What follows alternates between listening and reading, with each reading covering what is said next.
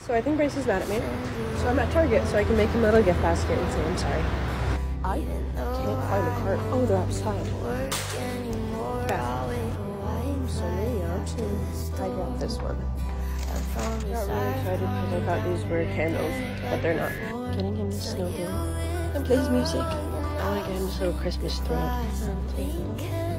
Me and Bryce literally have a candle addiction. It's really bad. I'll show you everything that I got in a second, but I'm getting a different basket because I need a bigger one.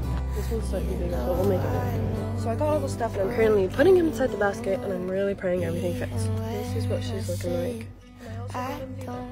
Here she is, not the cutest, but we're gonna go and give it to him. I'm coming, my baby. Open.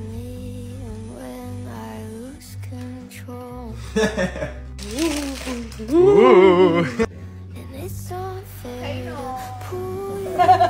To you like it.